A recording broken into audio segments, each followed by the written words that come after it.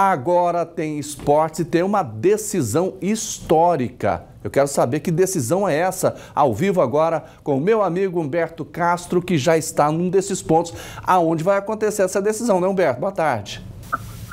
É isso, Adevar, boa tarde. Aqui é o ginásio Valério Luiz, o Goiânia Arena. A decisão, Superliga B, masculino de vôlei.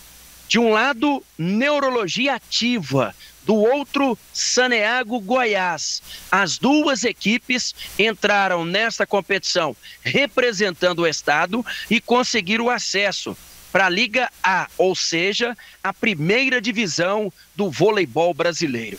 Tanto é assim, esse jogo de hoje, esta decisão, ela é única, desperta interesse de todo o mundo. É, inclusive, a presença há pouco aqui no ginásio uh, do Marcelinho, que faz parte da Confederação Brasileira de Voleibol, também do Radamés Latari, ex-técnico da seleção brasileira e atual presidente da CBV, autoridades locais, o governador Ronaldo Caiado está confirmado no evento, junto com o vice-governador e desportista Daniel Vilela, o Guerra, secretário de esportes, entre outros secretários, marcarão presença neste jogo para mais de 10 mil torcedores. A capacidade aqui do ginásio é de 10.358 e certamente vai estar com casa cheia.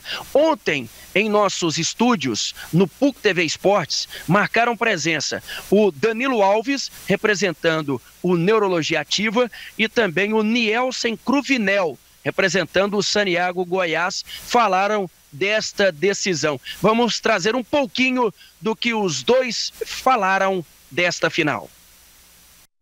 Ex-jogador, atuou na Europa e penso que você está vivendo um momento muito especial, né? Assim, como ex-jogador, hoje auxiliar, daqui a pouco dirigente que, que você sempre foi, né, Danilo? Eu estou muito feliz mesmo é, pelo que a gente vem fazendo no, no estado pelo esporte, é, pelo vôlei, é um, como a gente né, é, é não, tem, não tinha tanta visibilidade, agora a gente está tendo, então isso é muito importante para o vôlei goiano. E estou muito feliz mesmo com, com tudo isso que está acontecendo. É um sonho que está sendo realizado mais uma vez. E do outro lado do Goiás, o Nielsen Curvinel é um dos diretores do Goiás Saneago virou uma parada bem séria lá dentro do Goiás o vôlei, né? Sim. Contemplado agora com esse acesso, né, Nelson? E é uma expectativa muito grande, né? Foi um, um, um trabalho, acho que um trabalho bem feito dos dois times goianos, isso é uma felicidade para o Estado.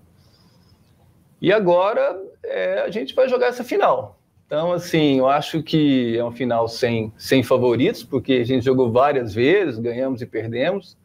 Acho que, que é um momento histórico, como, como o Danilo falou. E a gente espera que a casa esteja lotada e, e, que esse seja um marco para o voleibol goiano, onde a gente possa é, é, iniciar um projeto de altíssimo nível que a gente possa igualar as grandes equipes do, do, do país.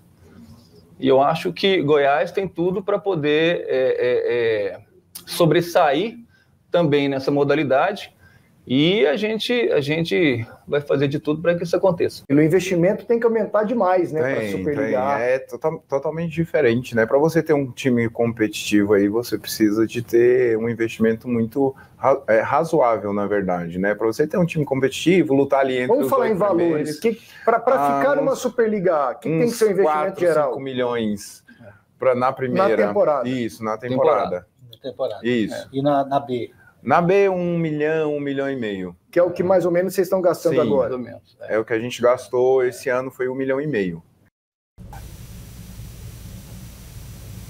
Bom, portanto, isso ontem no PUC TV Esportes, né, recebendo representantes dos dois times, o Neurologia e também o Saniago Goiás. Ô, Jodevar, só para ter uma ideia do tamanho desse jogo, da importância desse jogo, as duas equipes, nos locais de concentração, uh, serão escoltados pela Polícia Militar desses locais até aqui, o ginásio, pelos batedores da PM.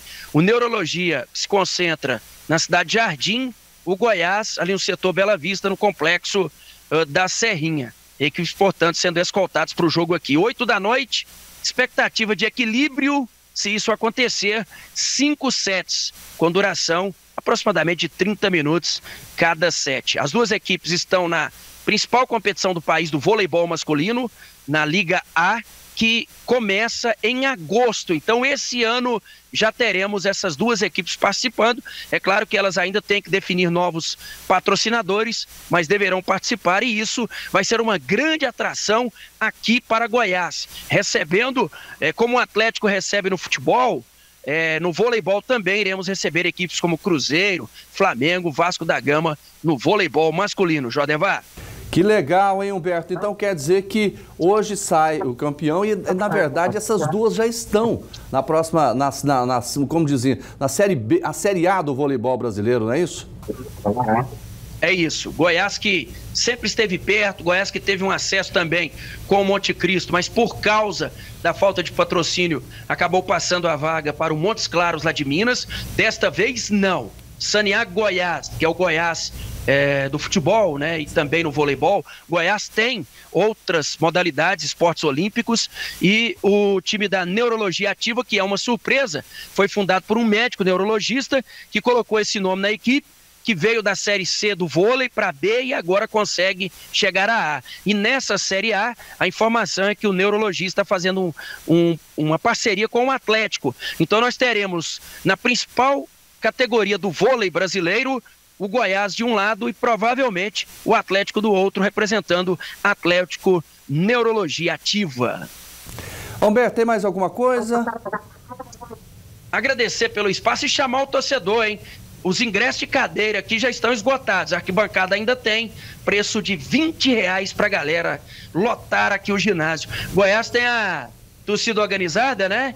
Daqueles problemas fora de campo, fora de quadra, mas dentro é, do, do, das quadras ou do, do campo, ela é útil, porque canta o tempo todo. E hoje aqui não vai ser diferente. A torcida empurrou o Goiás para esse acesso e hoje vai marcar presença aqui também no ginásio Valério Luiz, o Goiânia Arena. Um abraço, Jodevar.